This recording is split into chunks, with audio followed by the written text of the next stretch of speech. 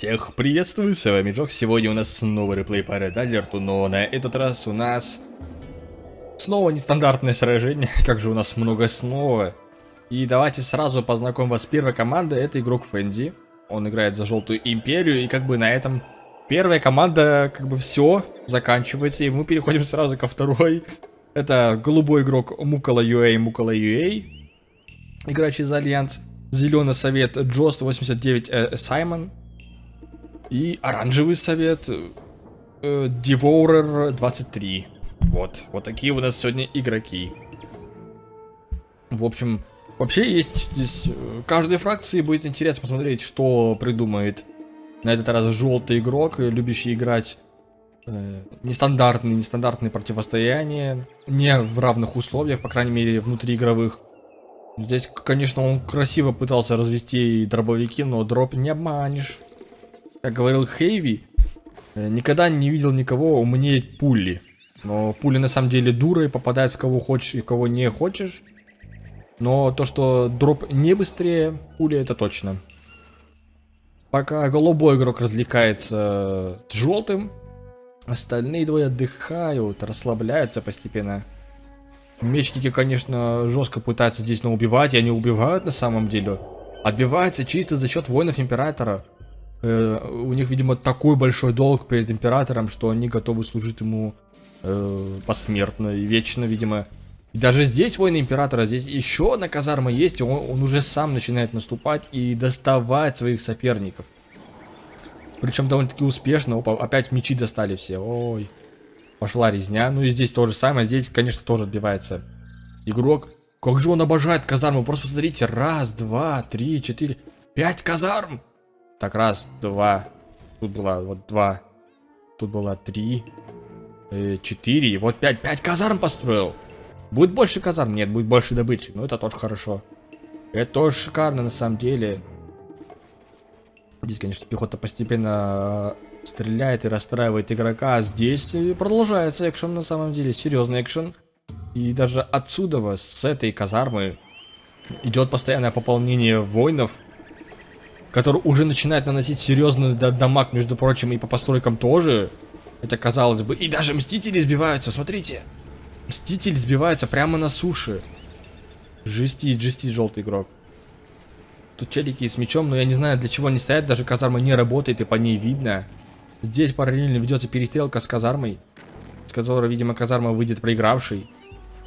Но здесь есть призывники, но они расстреливают в упор, но этого как бы недостаточно. Авиация сбивается прямо на земле. Вы просто посмотрите на это э, чудо. Появляется зеленая точка. Ой, зеленая точка, огневая точка от зеленого. Появляется серп.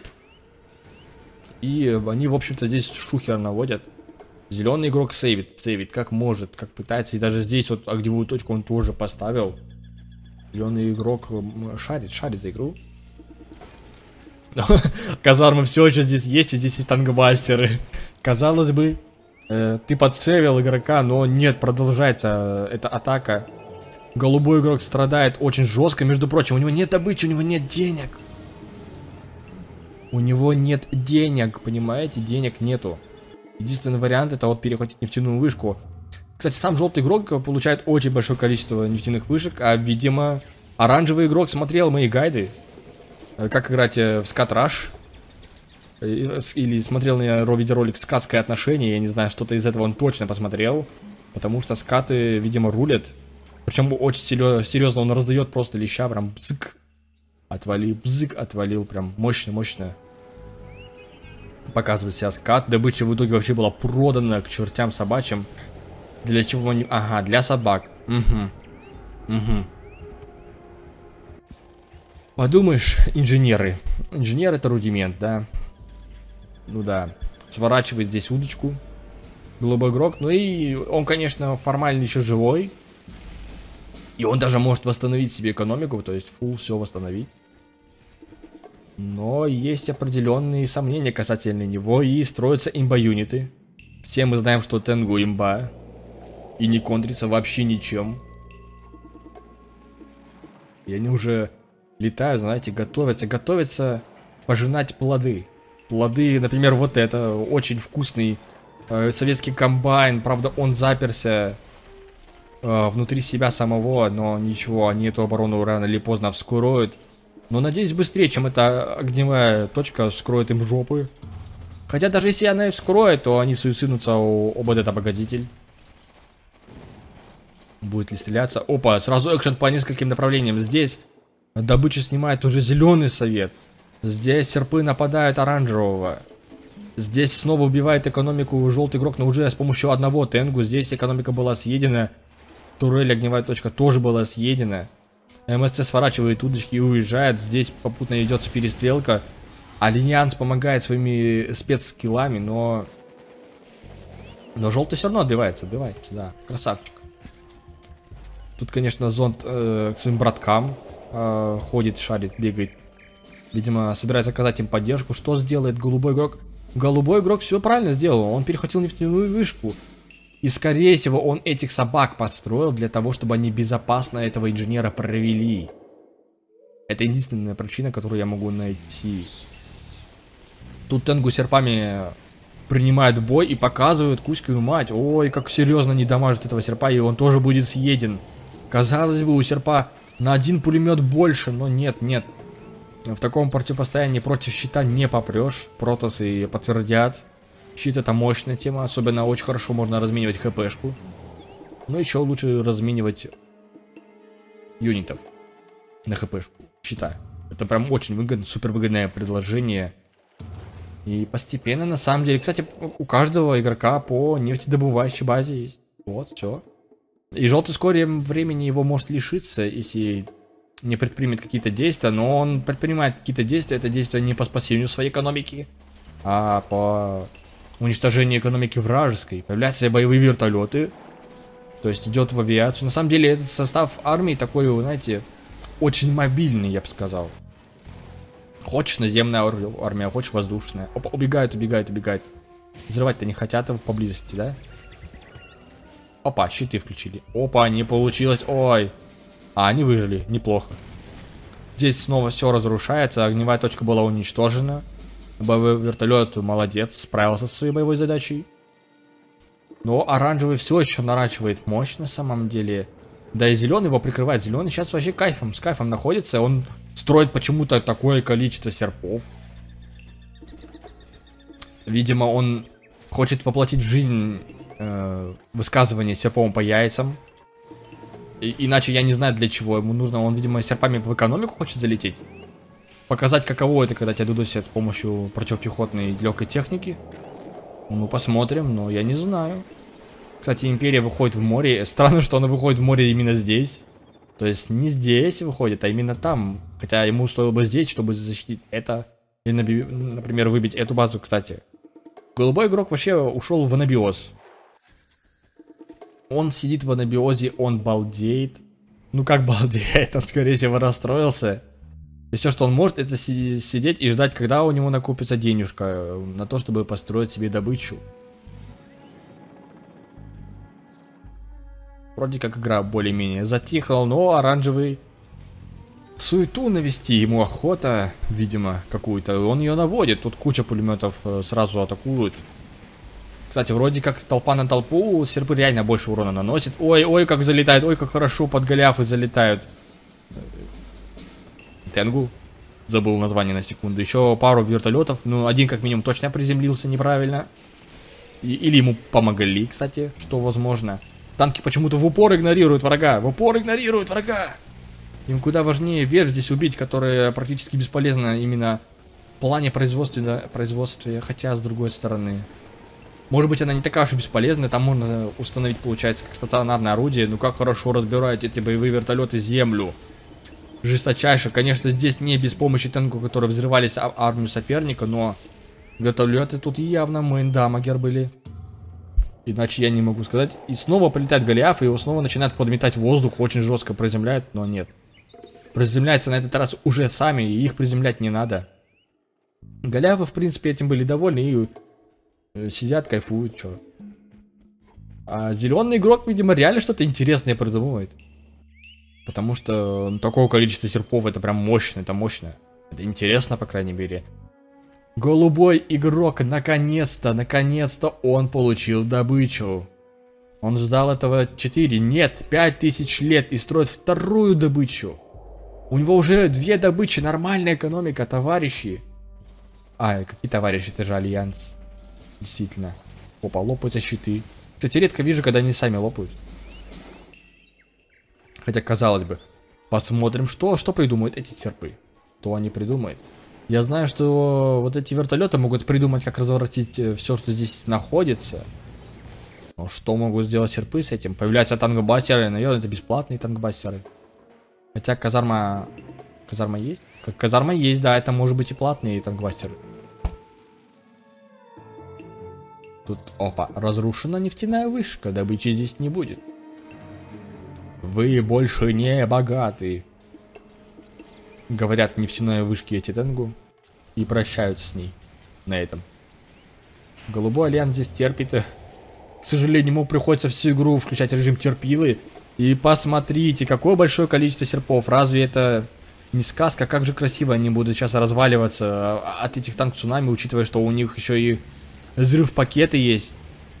Просто посмотрите, какое большое, большое количество трат денег впустую. Мне кажется, серпы что-то поняли, сделали выводы и ушли на базу. А тем временем голубой игрок э, не, не может больше терпеть этого, потому что его базу разрушают.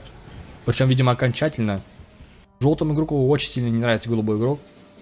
Не знаю, чем, чем он ему насолил, но, видимо, чем-то очень страшным. Тут приезжает с подкреплением зеленый игрок, но Подкрепление было убито, уничтожено, разворочено полностью. Нефтяной вышки, видимо, лишится все, кроме зеленого игрока. Да, уничтожена нефтяная вышка. И что? Ведется перестрелка уже советских танков, уже сторона оранжевого. Оранжевый уже оказывает поддержку зеленому и голубому. И на самом деле это неплохо. Он каким-то образом через жопу подхиливается. Я не знаю каким образом, но как будто бы есть ощущение, что они проигрывают этим танкам. Да, они как-то... Фокусит целенаправленно он Голиафы. Для чего, для чего? А мы знаем, для чего он фокусит Голиафы. То есть, казалось бы, он разменял танки Цунами. Не очень выгодно, потому что эти танки живы. Но, но... Там в силу вступят другие войска воздушные. ВВС Империи, если такие у них имеются. Но у Зеленого за пазухой есть секретные вещи. Попытался было восстановить МСЦ, но не получится, не получится. Здесь голубому все, он натерпелся, он настрадался и покидает нашу супер игру. Боевые вертолеты нет, не стали настаивать. Не стали настаивать. Теперь все, что может голубой, это сдаться, я думаю, да? Чтобы все его ресурсы достались э, кому-то из советов. Опа, здесь был застрелен зон-подрывник. Сразу по, этому, за это, по этому поводу получили медальку. Неплохо, неплохо. Какая интересная музыка. Туру, туру, туру. Редко ее слышу. Я вообще редко саундтрек слушаюсь в этой игре. Но... Оранжевый, оранжевый возвращает на базу свои молоты, да. Пока что ничего в игре особенного не происходит. Хотя, выбивание экономики это вроде довольно особенное. Кстати, сколько, здесь звездочных мужиков.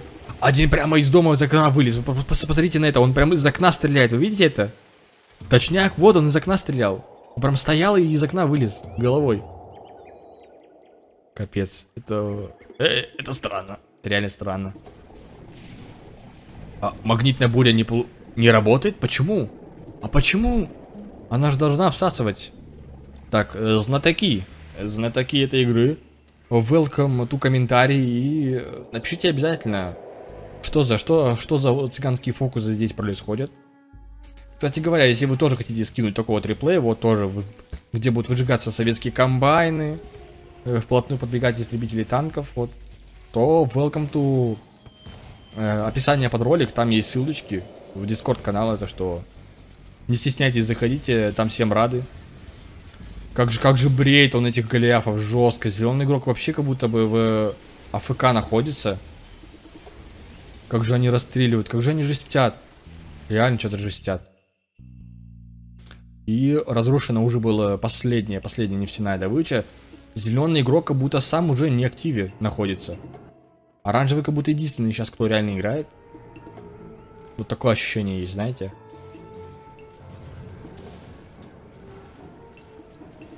Что-то будет зеленый делать или нет? У него добычи нет. У него ресурсов нет. А МСЦ у него тоже нет. И МСЦ, кажется, МСЦ у него тоже нет. А, натуре, а он ничего не сделает. Все, да, он сдается. Джо Саймон сдается, у него МСЦ нет. Все, оранжевый остался один на один с этим зверем. Желтым, который продолжает здесь асимметричный матч играть. И челленджи, и челленджи еще здесь всякие показывать. Ну, как будто бы, ну, еще есть, конечно, у оранжевого шанс, но... Или нет? Пехоты здесь много, да, очень много. Ну, я думаю, здесь как будто мало шансов, да. Эта пехота может и похоронить. И похоронить игрока на самом деле. А, ну и авиация здесь, конечно, конечно, авиация. Как без авиации -то? Здесь все было разрушено. На самом деле. Ну, кроме пехотинцев, ну зачем они ему? Вообще сдались. Что будет делать имперец? Перец, имперец зачищает здание. Ну, это плохо, это, конечно, классика. Это то, что делать надо. Зачистка зданий с помощью танкбастеров. Танкбастер вообще мощный юнит на самом деле за свои деньги. Он только так здание, технику, все выжигает очень неплохо. Здесь есть, правда, Тесла Кол, который будет поодиночке выщелкивать. Здесь есть, кстати, и пусковой комплекс ФАУ. Опа, и токсичные ванны организовываются. Прям то, что надо, вот то, что надо против истребителей танков, все это организовывается оранжевым игроком. Играет он довольно-таки правильно, но лишается также МСЦ. Кидается дробью, дробью, дробью по нему кидается. Очень больно, очень страдает пехота. По идее, все правильно делает, но здесь авиация, которую я вам не показывал. Но она здесь все защищает, да. Здесь и технологические здания покинули чат. Э, и завод покинул чат. Но здесь больше нечего делать, реально. Да, все. О, вы видели, как АЭС взорвалась и забрала с собой кучу боевых вертолетов. Под конец прям. Очень мощно, очень мощно. Ну, желтый игрок довольно-таки жестил, да. Со старта куча казарм. Построить это, конечно, мощно. Это мощь, которая не снилась мне. Игра длилась 17 минут, 35 секунд. Видимо, все игроки до конца ее прождали, не знаю. Ну, можете. И, кажется, на этом все, да. Про Дискорд я уже напомнил.